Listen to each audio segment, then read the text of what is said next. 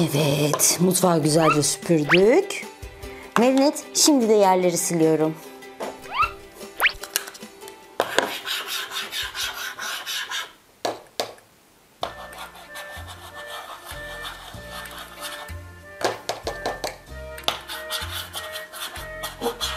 Hop. Ah, sonunda bitti. Of. Haklısın Merinet. Bütün gün temizlik yaptık.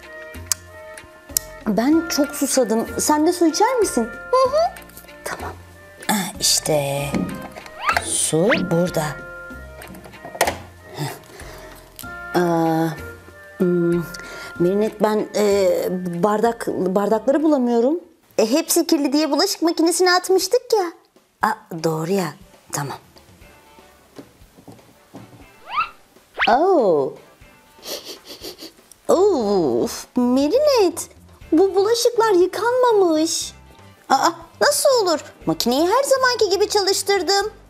E, belli ki düğmesine falan basmadın. Tekrar deneyeceğim. Şöyle koyalım. Deterjanını koymuştum. Tamam.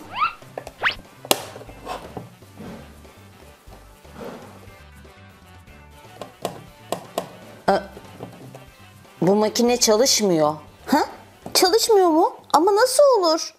Hmm, bence elektrikle ilgili bir sorun olabilir. Şimdi hemen kontrol edeceğim. Merak etme. Şuradan. Bu olmaz. Ümit, acaba diyorum kendimiz uğraşmasak da bir servis mi çağırsak? Bence servise gerek yok. Basit bir işlem olacak. Ah, bu benim işimi görür. Ümit emin misin? eminim eminim canım. Ya ne olacak ki? Bir yerde bir temassızlığı bir şey vardır. Ben şimdi çözerim onu hiç merak etme sen. Evet bir bakalım. Şimdi bunun kablosu burada. Ee, kablosunun gittiği yerde şurası.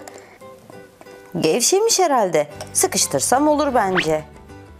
Hmm. E, gevşemiş işte bak şimdi onu ben sıkıştıracağım. Ha? Hemen geliyorum. Bana hemen kuru, iletken olmayan plastik ve tahta ah, süpürge, süpürge olur. Geliyorum. Aa, bırak şunu, bırak, bırak. Aa, aa. Daha iyisin ya. İyiyim Merinet. Sen nasılsın ha, acaba? koydum. Makine, makine çalıştı. makine çalıştı. Evet, evet ben makine çalıştı. Suyu evde içsem. tamam, sakin ol. de bir hastaneye gitsem benim için daha iyi olacak Mehmet. Gör, gö, görüşürüz. Ümit dur. Of.